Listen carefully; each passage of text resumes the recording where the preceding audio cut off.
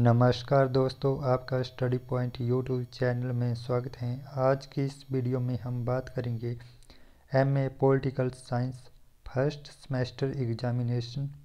Book का name है political institutions paper code है P O L S one zero four.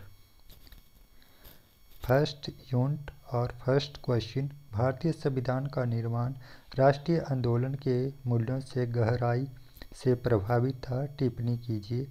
और में क्वेश्चन है सेकंड भारतीय संविधान में दिए गए संवैधानिक उपचारों के अधिकार के महत्व पर प्रकाश डालिए।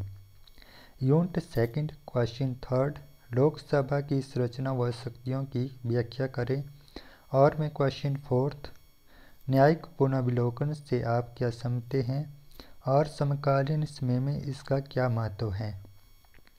यूनिट थर्ड है हमारे पास क्वेश्चन फिफ्थ संघवाद की अवधारणा ने भारतीय राजनीति में अपनी रूपरेखा को बदलना जारी रखा है, विश्लेषण करें।